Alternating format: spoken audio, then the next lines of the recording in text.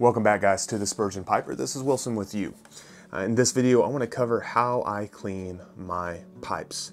Now a few years ago I did put out a video on this and I did show you how I regularly clean my pipes and not that much different than I used to be, but there have been some changes. So earlier this year I was able to sit down uh, with dinner with Eddie Gray from the Pipe Nook and uh, one of the things that I brought up was how I clean my pipes, and him being far more knowledgeable than I am when it comes to pipe and pipe tobacco, he, he made the comment, you're, you're probably cleaning them more than you need to, or especially the way I was cleaning them. So um, I, I took his words to heart, his, um, his uh, correction, and I did correct how I did things, or I did adjust how I did things, and I've been very happy with the way my pipes have turned out, yet I'm doing less work. So uh, I'm going to show you how I do clean my pipes and there's going to be two different stages of cleaning my pipes and I'll show you that. Uh, but it, let me say up front, this is just one way to clean pipes. And it's probably going to look similar to other guys like Mutton Chop, but uh, they probably have distinctions as well. And that is okay. There's one way to skin a cat. Pick a way, and if you like it, great, go with it. Um, if it seems like your pipes are staying in good condition, if they, uh, they the taste is okay um, after you cleaned them. Even the smell immediately after you cleaned them, if it smells like, hey, that sound, smells somewhat clean, great, go with it. Um, or make changes if you want to. So uh, I want to bear, let you bear that in mind as, as we go forward. There's more ways to do this, but I'll show you how I do it. I'll get the camera more in a direction on my tables. That way you can um, have a better idea of what I do. All right, guys, so here I have this poker, and this poker I smoked yesterday a few times. I want to use this as an example. Now, I'm to let you know up front.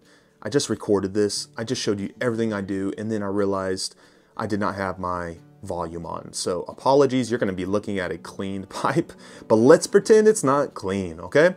Uh, and uh, I'll, I'll, show you all I go through. Now, I just cleaned, let's say I just smoked this pipe, all right? I just went through and I want to clean out the, the dottle and, and ash inside here and knock it out um, into an ashtray or so. So I'm gonna set it aside maybe uh, and, and smoke another pipe. I usually smoke two at a time in a day. You know, I'll go back and forth. Um, and after I smoke this pipe, I'm gonna go ahead and take a pipe cleaner and this is a tapered one. You can go with the regulars. I probably prefer the regulars, but I use both. I'm gonna go ahead and put it through the stem and shank all the way to what gets to the edge of the bowl. All right, so you're gonna see it right there inside the bowl. That's as far as I want to go. I don't want to go all the way like that and push it against the, set, uh, the side.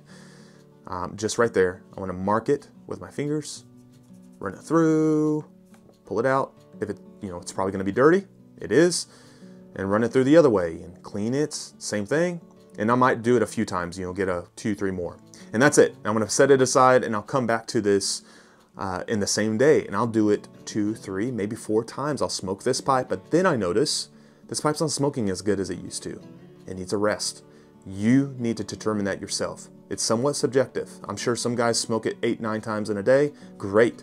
I see a difference. I can tell in the taste of, of the of the pipe tobacco, and I know it needs to rest. All right.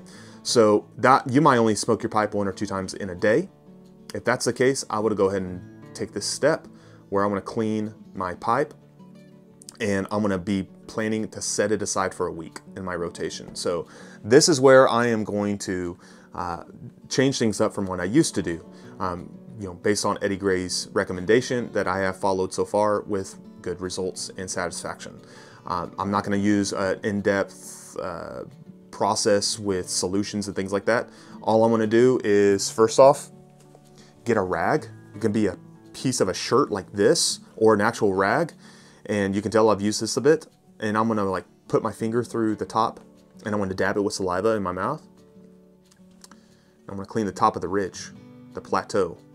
All right, on top, and I'm gonna just take off any char, any any residue at all, and I might do that twice, you know, just keep it clean. All right. Then I am gonna take this solution, and I'm gonna dab it into the solution, a pipe cleaner, and I'm gonna just clean the mouthpiece all right, just make sure it's ready for the next time. All right, I do want to be a little uh, sanitized and all that and just clean off any gunk. And then after I'm done with that part, I am just gonna go ahead and run pipe cleaners through. And I usually, you know, if it's a straight pipe, you don't have to take off the stem from the shank.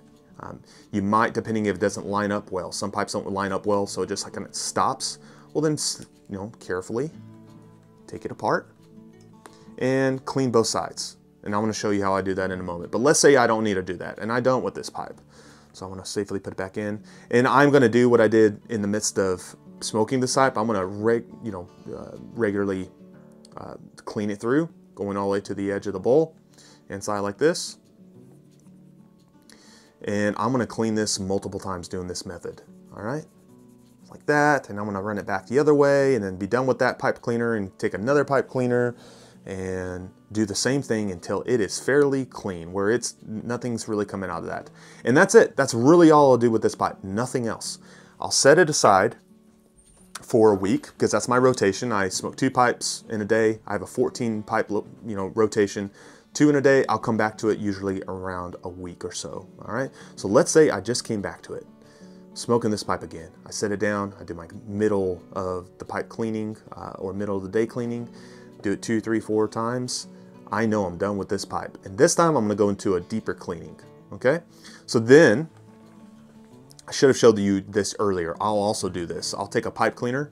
I'll do this in the first type of cleaning I showed you when I'm gonna be putting it away for a week. All right, so I should have shown you that.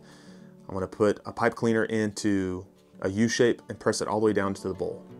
All right, and I'm gonna make sure the sides are touching, uh, the pipe cleaner touching the sides, and I'm gonna twist it. Take out any loose dottle and the ash, okay? And there's not much there, uh, but it was a lot cleaner as you can, dirtier as you can imagine. But what I'm doing is taking away the loose dottle and ash, uh, so that way it's fairly clean inside. You're not taking away the carbon cake. It, it's you can't do that so easily with just pipe cleaner. And it's not gonna smell up my study or my, my office, all right? And that's another reason why I do this. This does a tremendous uh, difference in keeping your room smelling fairly clean. So I'll do that. If I need to do it twice, I'll do it twice. Then I'll go ahead and remove the stem from the shank. Softly so, lightly twisting it. I'll take my cleaner. What this is, it's in an alcohol, isopropyl alcohol uh, bottle. It is one part Listerine or mouthwash, two parts, or excuse me, three parts Everclear. All right, 190 proof Everclear. It's cheap, it does a job, it gives a good cleaning. The only thing be aware of, do not get it on the outside of your pipe. It will, it can damage, uh, remove the finish or varnish, and you wanna be aware of that, all right? Do not do that, you wanna be careful. So I'll take a pipe cleaner and I'll just slightly dip the tip of it in there, as so. And if I need to, I'll clean the outside with it first of the mouthpiece. All right, if it's cleaned up, I'll go ahead and run the pipe cleaner in there. Now I have this tapered you know, pipe cleaner. They're not the easiest to put in through the mouthpiece sometimes, so just be aware of that. Um, and I'll go ahead and run it through. As so. All right, and I might use the other end that is not as dirty and I'll dip it in the cleaner and I'll clean the tenon. All right, so clean up the tenon like that and then I'm pretty much done with this pipe cleaner, so I'll get another one and I might dip it in again in this cleaner and I'll run it through.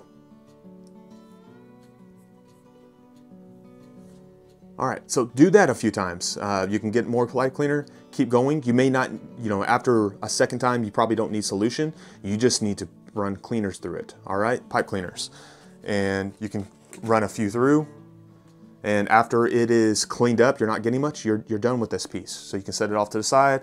We're gonna focus on the bowl and shank. All right, so I have this tapered pipe cleaner. I'm gonna, I can dip it in, just the tip, and I'm gonna clean the mortise, all right? This is the mortise here. I'm gonna just clean that up to the bowl, you know, get the sides, um, and if you, you can go ahead and, and put it all the way through the bowl if it's not too dirty, right up to the edge of the bowl as before, you know, run it through, boom, all right? And then you can go ahead and use this clean side do the same thing. If, if it's cleaned, you can even dip it into the cleaner again and run in towards the bowl. All right, right there. So another way I don't want to use, waste up my pipe cleaners. Usually this part here is going to be cleaned. So bend it. All right, just just bend it in a in a U shape. I'll go ahead and use this one like this. and you can even dip it in solution and clean the mortise well. And you'll get whatever residue there is. All right, so after you do that, you, you'll use a few more pipe cleaners. Clean the inside of that bowl. You might dip it two more times into your solution. And then after that, you probably just need to go ahead and run dry cleaners until it is coming out fairly clean. After that is done, it's cleaned, the inside is finished, you can softly insert the stem to the shank, line it up, all right. And then I'm gonna go on to putting on some this, I have this Decatur brand. I don't have a preference on brand.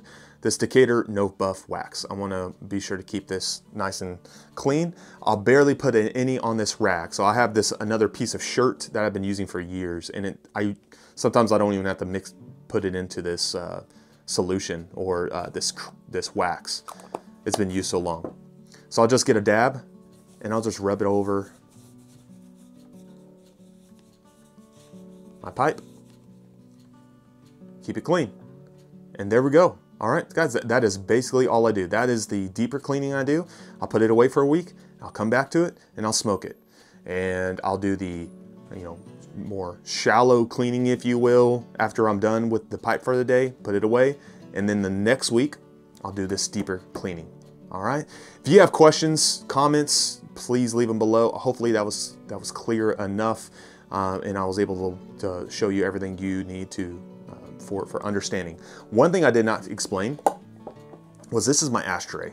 All right, so just uh, you can use uh, you know European pipe tins. They're they're great. They're easy. They're metal, so you don't have any concern of it burning through um, the container or anything like that. So I meant to show you that earlier and I forgot, but there you are. All right, that's my pipe or my ashtray. Very cheap and ready to go.